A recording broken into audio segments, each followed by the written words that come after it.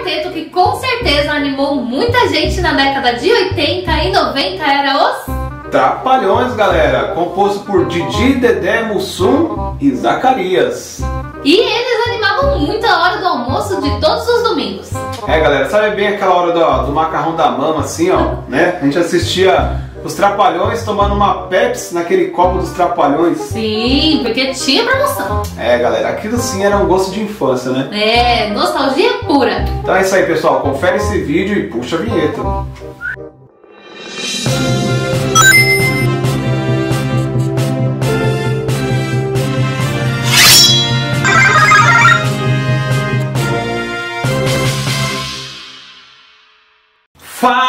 Jovens, como estão vocês? Bia e Dani na área. Com mais um vídeo supimpa pra vocês.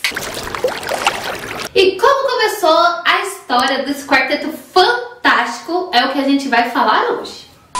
Ô, da poltrona, da poltrona e das almofadas também aí. Trapalhões também é informação. Pessoal, vamos começar pelo cabeça do quarteto, que era o Didi, Mocó, Sorrisal, Colesterol, assim como ele falava, né? Sim. Sim! E o nosso famoso Didi, que todos nós conhecemos, chama-se Renato Aragão. Ei, por favor, por favor, o senhor aí. O senhor sabe qual é o maior osso do homem? É a sogra? E ele já foi bancário, vocês sabiam? É, pessoal, antes de começar a sua carreira, o Didi já foi até jogador de futebol, Nossa, jogava lá no Ceará e falava que mandava bem. ele era bom de bola. Era o Neymar da vida. E além de tudo, ele ainda era farmacêutico. É, pessoal, então ele era meio que um bombril, né? É. Mil e uma utilidades. Tinha vários dons. Mas, galera, o que o Renato Aragão mais gostava de fazer, com certeza, era a função de palhaço. É, o humor trazer pra gente. A alegria aí, ó, estampada no sorriso das crianças naquela É, época. muito bom. E ele começou a carreira dele na TV Fortaleza e logo depois veio pro Rio de Janeiro. É, pessoal, e logo ele começou a trabalhar na TV Tupi, lembra da antiga TV Tupi? Sim. E foi lá que ele conheceu o seu segundo Trapalhões aí, ó, que foi o Dedé Santana. Sim, que também era um artista circense. Ô, amigo. O senhor sabe onde fica o Rio Amazonas? Ah, não sei não, moço. Eu sou novo aqui no bairro, né? Pessoal, e os pais de Dedé trabalhavam no circo e foi lá no circo que o Dedé nasceu. Sim, e ele até gostava da área circense, só que não dava muito dinheiro. E assim ele começou a trabalhar em fábricas.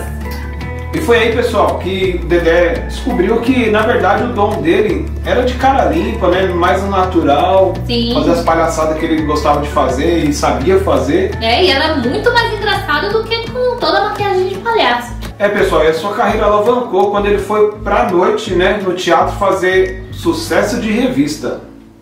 E lá começou a bombar a carreira de Dedé. Né? E foi em um desses shows da noite que ele conheceu o terceiro trapalhão. Cacildes! Ah, quem não se lembra do Mussum? É, pessoal, o mais querido aí, ó, né? Ah, Era o muito legal. Ô, senhor. O senhor sabe quem disse todo corpo mergulhado na água recebe um impulso vertical de baixo para cima, igual ao peso do líquido deslocado? Olha, compadre, esse negócio de poesia eu não manjo nada. É, pessoal, e o Mussum era estudado, ele era formado em mecânica, né? Sim. E até datilógrafo. É, e ele também já foi da PM, da Polícia Militar. Na função de cabo, né? Isso mesmo. Mas o que ele gostava mesmo era ó, de um bom samba. É, é, pessoal, o Mussum era um sambista de primeira. Muito bom, né? Isso não é só mais capoeira. Meu Deus do céu. Se fizesse um compilado de todas as coisas erradas que a gente Vai faz. ter que colocar isso aí, que ficou bem, bem ensaiadinho.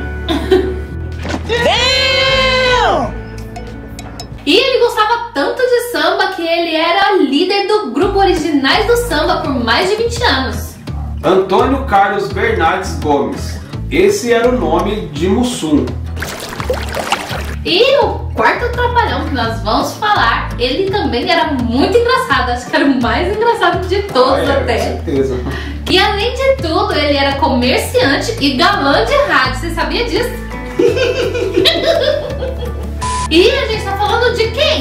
de quem? De quem? Zacarias, galera. O senhor sabia que nós temos três aparelhos? Ou seja, o aparelho digestivo, o respiratório e o circulatório. Qual destes aparelhos o senhor mais usa? É o aparelho sanitário. E Zacarias foi vendedor de bijuteria e até mesmo engraxate na sua carreira. Nossa, também tinha muitas funções. E depois de muitos trabalhos, ele foi para Belo Horizonte para estudar e se formar em teleator, locutor e radioator. Muitas coisas.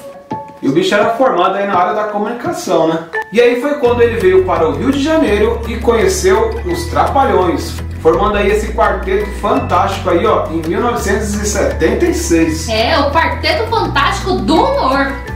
E foi bem nessa época que eles estrearam na Rede Globo. E o sucesso foi tão grande desse quarteto aí, ó, que todo mundo gostava, que eles fizeram também, pessoal, diversos tipos de filme aí, ó, estourando no cinema. Ah, muito divertidos, né? Confere algum dos títulos aí de filme que marcou as gerações, né, Bill? É, vamos ver se você se lembra. Os Saltimbancos Trapalhões, de 1981. Os Fantasmas Trapalhões, de 1987. Os Heróis Trapalhões, de 1988. Os Trapalhões na Terra dos Monstros, de 1989. É, pessoal, e o sucesso foi tão grande que diversos artistas famosos aí participaram dos filmes dos Trapalhões, né? tais como o Sérgio Malandro, o Gugu, o Faustão e até mesmo a nossa rainha dos baixinhos aí, a Xuxa, né? Isso mesmo, no filme A Xuxa e os Trapalhões, que estreou em 1989. É, pessoal, e os episódios mais engraçados aí dos Trapalhões, com certeza, foi de programa de auditório aí, que eles mandavam muito bem, tirando, meu, risada geral da Geral. galera. Pesador? Já sei! Foi o super-homem que fez isso, só pra acordar a gente. Ai, meu Deus do céu, olha aí, tá quase na hora da gente levantar e a gente nem dormiu ainda. E o mais engraçado, mais nostálgico, que eu tenho certeza que você que tá aí, ó, relembrando, vai lembrar, foi quando Zacarias se vestiu de mulher. E aí, pessoal, ele queria se casar, e aí deu aquela resenha lá dos dois que foi bacana pra caramba e tirou bastante riso da molecada. né? Sim, a música é a mais engraçada. E a musiquinha fica na cabeça, galera, confere aí. Papai, eu quero me casar. Oi, minha filha, você diga com quem? Eu quero me casar com economista. Que economista você não casa bem. Por que, papai? Economista mexe muito nas poupanças e as depois vai mexer na sua também. Minha filha, você diga com quem? Eu quero me casar com o Ney Mato Grosso. Com nem Mato Grosso aí você casa bem. Nem Mato Grosso vira homem, lobisomem. Mas quando é homem não faz medo pra ninguém. Mas nem tudo era festa, nem tudo era palhaçada e alegria, porque dizem que por trás das câmeras, Renato Aragão não se dava muito bem com os outros três. Amigo, o senhor sabe em quantas partes se divide o corpo humano? Em três partes: E o senhor sabe quais são? homem, mulher e criança. É, galera, ele era um pouco meio que arrogante e devido a esse grande problema, né, dessa treta entre eles, houve uma divisão do grupo. É, acabaram se separando. Onde o Didi, galera, fez um filme sozinho que foi o Trapalhão na Arca de Noé. E depois disso também Dedé Mussum e Zacarias fez um filme só eles que se chamava Atrapalhando o SWAT. É, pessoal, mas infelizmente a vida nos trouxe aí um golpe fatal. E infelizmente o mais triste aconteceu. Que foi em 18 de março de 1990 e aos 56 anos de idade que Mauro Facil Gonçalves, o nosso querido Zacarias, veio a falecer. É, infelizmente nos deixou.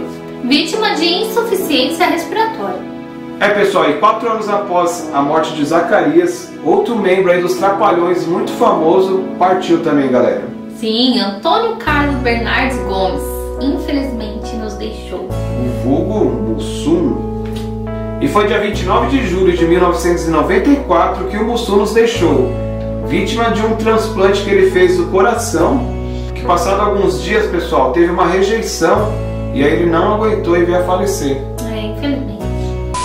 O homem que deu alegria a milhões de crianças deixa o Brasil um pouco mais triste. Foi enterrado no final da tarde, em São Paulo, o humorista Mussum dos Trapalhões. Deixando o Brasil muito triste aí, ó, na parte do humor, né? Uma grande perda. É, galera, mas infelizmente os Trapalhões que nos trouxe muita alegria e traz muita nostalgia não existe mais. Pessoal, mas ainda temos registrados em nossas memórias aí, ó, justamente na hora do almoço, né? Os episódios que mais marcaram as nossas vidas aí, a alegria que eles traziam, né? É, e também ainda temos o Renato Aragão. E o Dedé, né? Sim. É, pessoal, e o Dedé ultimamente tá fazendo bastante comerciais aí pela TV, né? Sim, e o Didi virou TikTok. E é isso aí, pessoal. Esse vídeo se encerra aí, ó. Muita nostalgia, fala dos trapalhões, né? Ah, muito bom, né? E merece o quê?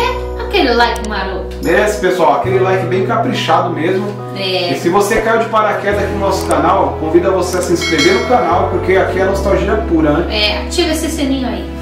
É isso aí, pessoal. Então, tamo junto. É nóis e Fui. fui.